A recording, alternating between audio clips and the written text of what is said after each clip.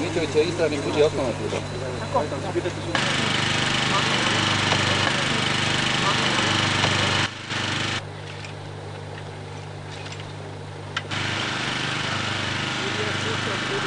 Пока что, э, перед налогом, видать, я не знаю.